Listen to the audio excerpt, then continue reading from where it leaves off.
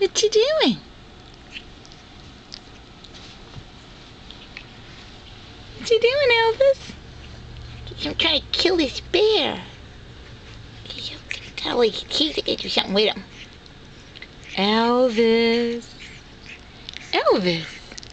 Poor little Elvis, he's got a little cleft lip. Oh, he's gonna...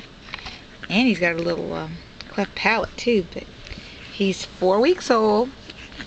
And I've been tube feeding him every two hours um, for the first two weeks of his life. And the first week, um, got express milk from his mom so he can have a great immunity like his sister and uh, now he's getting um, weaned onto dry um, kitten food.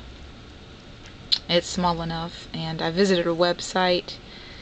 Um, I think it's called Lenwood or Hennwood. I think it's Hennwood. Um, to do that. If you want to see more pictures of little Elvis, go to my website at www.bayoubostons.com. And that's B-A-Y-O-U-B-O-S-T-O-N-S.com, all lowercase. Um, his mom did raise him, and so he's been cared for by his mother very much so, but he's also been cared by us, and uh, he responds very well to human attention. Uh, just a very lovable little puppy, and I would never dream of having him euthanized. I'm so glad that I took the time and, and put the, the, the investment into caring for this little guy. Um, our vet looked at him and said that when he's old enough he can have some surgery for that cleft uh, lip and um, tell, I'm telling you I'm still recovering from getting up every two hours to tube feed this little fella keeping everything clean and, and everything going but um, it worked because now he's here with us and he's looking for a phenomenal new home and uh, only the best will do for this little fella.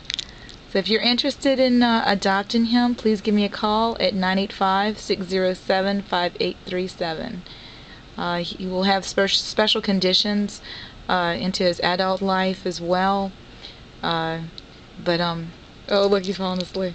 But, um, he's very sweet puppy. Very communicative, just just a very wonderful little guy.